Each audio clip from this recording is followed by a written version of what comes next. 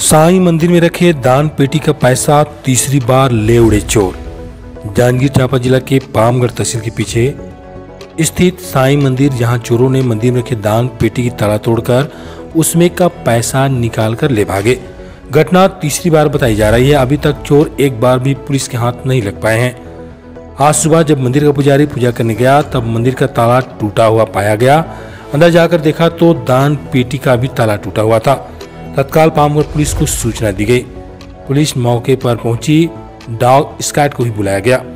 इस मामले पर जाँच की जा रही है। फ़िलहाल चोरों का कोई भी सुराग नहीं लग पाया है। वही मंदिर समिति के लोग चोरी का शिकायत पामगढ़ थाने में किए हैं। उनका कहना है, तीन बार हो गए, साई मंदिर में चोरी हो रही है, किंतु अभी तक आरोपी पकड़े नहीं गए हैं।